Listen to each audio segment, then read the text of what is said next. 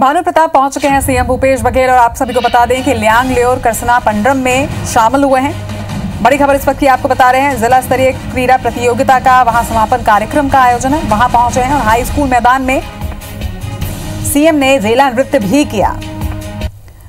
तो बड़ी खबर इस वक्त की आपको बता रहे हैं, भानु प्रतापपुर पहुँच चुके हैं सीएम भूपेश बघेल और वहाँ पर लियांग ल्योर करसाना पंडरम में शामिल हुए हैं। जिला स्तरीय क्रीड़ा प्रतियोगिता का समापन कार्यक्रम था वहाँ पर, जहाँ पर सीएम ने रेला नृत्य भी किया।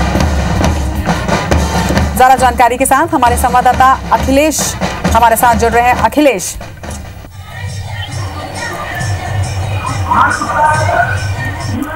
अखिलेश, क्या कुछ हो रहा है इस वक्त वहाँ पर कार्यक्रम में? बताइएगा, विस्तृत जानकारी। आज जो मुख्यमंत्री का जो समय था, उससे थोड़ा सा विलंब पहुँचा मुख्यमंत्री भानु प्रतापपुर विलंब पहुँचने के चलते समय की कमी थी मुख्यमंत्री जी के पास। उसके बाद भी यहाँ पर हज़ारों की संख्या में जो मौजूद लोग थे, उनके बीच में, उनके साथ में रेला नृत्य किया, जिसमें मुख्यमंत्री भूपेश बघेल ने खुद मंच से रेला नृत्य किया। साथ में उनके जो तीनों विधायक थे, ज़िले के वो विधानसभा उपाध्यक्ष मनोज भंडावी, अनूप नाग अंतागढ़ के विधायक और शिशुपाल सोई, जो कांके के विधायक है, इन सबने वहाँ पर मन से रेला नृत्य किया। और ये जो स्टेडियम था, ये पूरे दर्शकों से खचाखच भरा हुआ था। स्कूली बच्चे मौजूद थे। और सबने यहाँ पर एक साथ रेला रेला जिसने सबके सबने नृत्य किया, जिसमें मुख्यमंत्री ने भी मंच से जमकर रेला नृत्य किया।